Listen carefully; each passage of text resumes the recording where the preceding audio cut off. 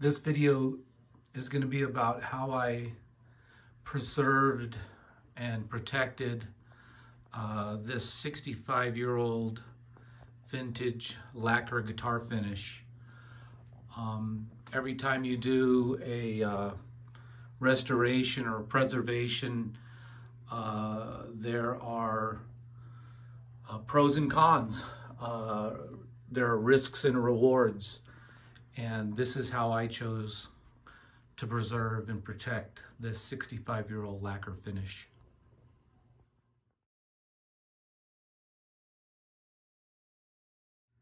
Had a crack in the top right there that I uh, fixed. I humidified the guitar in the bag with several large sponges soaked in distilled water and the crack sealed up and then I glued it and I put a single cleat about right there. That's where the crack was the biggest. Um, I cut the cleat out of another guitar top, spruce top, and the grains go in the other direction from that. But I think what I really want to show is the finish on this guitar. Uh, I cleaned up the top after I scraped the glue here with a razor blade and I sanded it all the way to uh, 800, maybe 1200 sandpaper, and then I rubbed it out. But you can see the finish still has all this beautiful crackle in the finish that I didn't remove. Uh, it's just that vintage look uh, that I really like.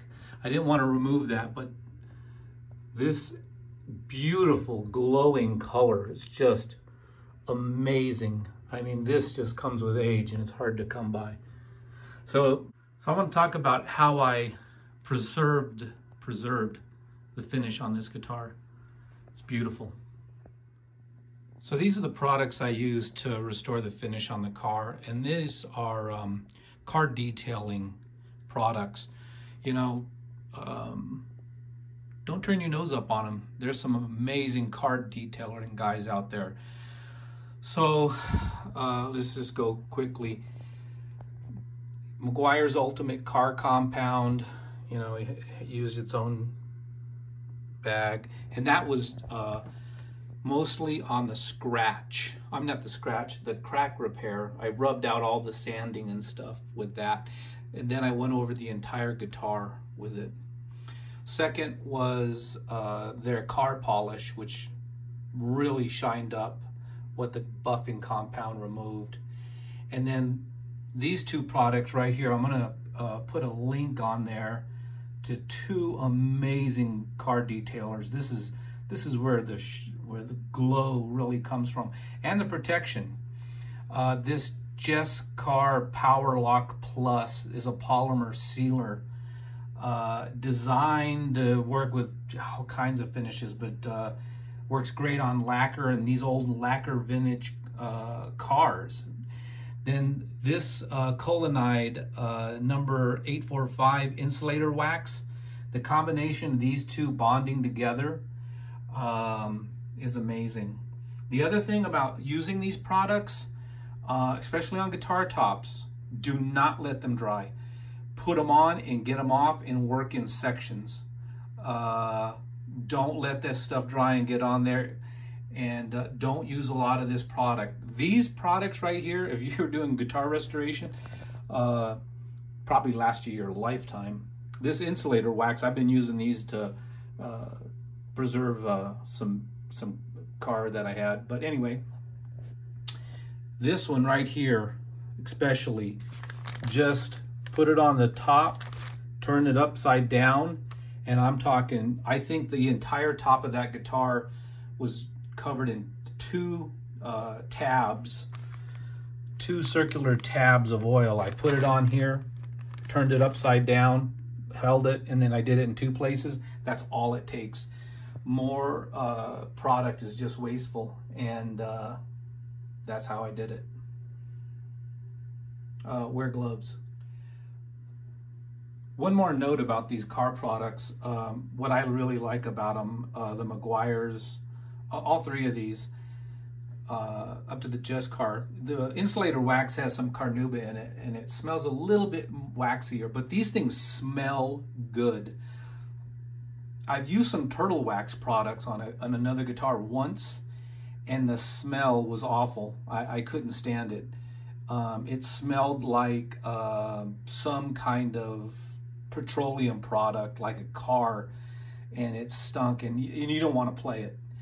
Uh, Meguiar's uh, Ultimate Cars products. There's a bunch of them out there, and they've uh, they know now uh, these products smell good, or they don't smell bad. I'll put it that way.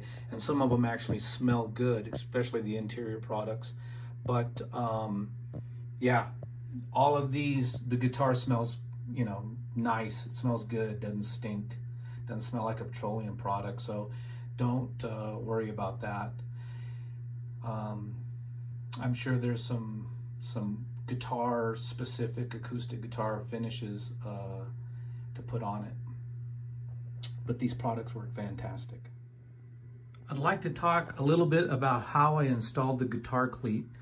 Since the cleat was all the way down here where the crack was the widest when it was uh, not humidified, getting my arm in here and reaching all the way down with my hand, the furthest I could get the cleat was about here which the crack was very tight there. Um, and I didn't want to put two cleats in. I wanted to just get one. Uh, I don't want to get more on this top than I have to. So let me show you how I did it. Uh, I actually used two cell phones. I put a cell phone inside here and I tilted it at an angle like that. And I FaceTimed it to myself. The second camera I put over here laying flat with the guitar and I could see. Then I took this pair of hemostats and I put a sewing, not a sewing needle, I, I guess what do you call it, just a, a needle. This isn't a, a cleat, just a, but anyway, it's an example. I poked it in there till it stuck. Then I reached my arm in as far as I could until I got right where the camera was showing me where it needed to be. And I put it on there, then I released the uh, hemostats and uh, pulled the uh, hemostats out. I pulled the sewing needle out, uh, the, this, whatever this needle is, safety needle pin out. And uh, after that, after it dried, after 24 hours. So if we go back here, the only problem I had was the first attempt. I dried, I did it dry multiple times until I was sure I could do it. And sure enough, I didn't. I stuck the cleat right there. I pulled it up, I pulled it out, and I used Titebond 3, put more glue on it, and I set it right exactly where it's supposed to be the second time, which I was really happy with. The downside is there's a little dab of glue right there where I attempted the first time. In hindsight, what I should have done was got in there with a hemostats and a wet paper towel or sponge and wiped that dab of glue off that was there. I thought I'd come in after the fact and clean it with a paper towel after I got, I wanted to get the cleat in because I'd already glued this joint here and clamped it. I wanted to get the cleat in. But like I said, in hindsight, what I would have done was probably uh, got a paper towel and clean that off. I, I, tried to afterwards, and that glue is so hard that I'm, it's hard to work in there. So that's so lesson learned there. Um, in any case, the guitar came out beautiful and the repair came out fantastic. I am really happy with that. Uh, this little, well, not little, crack goes all the way. I, I wonder if I could have cleaned it because the crack is old. It had been there for quite a while, uh, years, I'm guessing, because this guitar sat in a closet and it, I didn't clean the crack. I wonder if when it was opened, if I tried to clean it with some kind of uh, something, not sure what I would have used, to maybe clean, clean it, maybe clean some of the dirt off the edge, if, uh, if that would be less noticeable.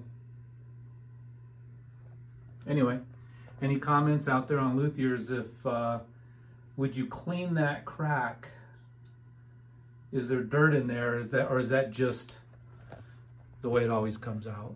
I've seen cleaner ones. I've seen ones that, that are practically invisible.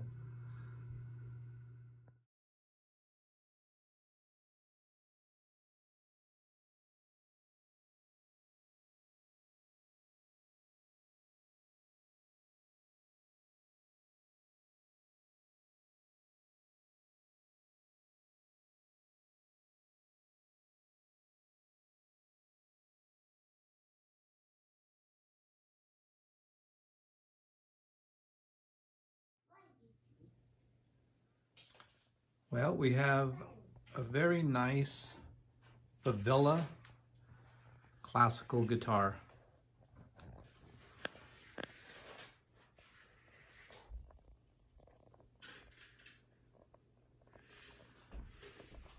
This was made in 1968. Uh, I got an email from Tom Favilla. It's in very good condition. It's a uh, C8 Solo, made in New York. It's got, uh, I'd say it's in very good condition. It's got a little bit of damage. It's got a crack here in the soundboard that ends at the uh, bridge, which is good. I'll get that repaired. The finish, I don't know if you can tell, but the finish, you can see some of the grain uh, you know, through the finish. I think somebody put steel string strings on this, at least on the bass strings. I'm not sure if uh, nylon strings come with that same kind of ferrule. The action's high, um, but I think the action was high on these classicals back then. Two and an eighth inch nut with a high action. Uh, action's about uh, 11 or 11 or 10 64ths. Solid back and sides are mahogany. Um, there is a hairline, hairline, very thin crack right there. See if it'll come in. If I can get the shadow right, you can just see it. It's right there.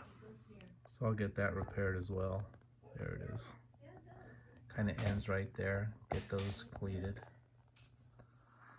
So, it's not in excellent condition, but I think for its age, um, I'd say it's in very good condition because I've seen these guitars in a lot worse condition than this. The neck looks really well maintained. Original tuners. Uh, one of the tuners is frozen, so I'm not going to I'm not going to um, try to loosen that string. I'll just cut it and then pull them off and soak them in naphtha or something and clean them.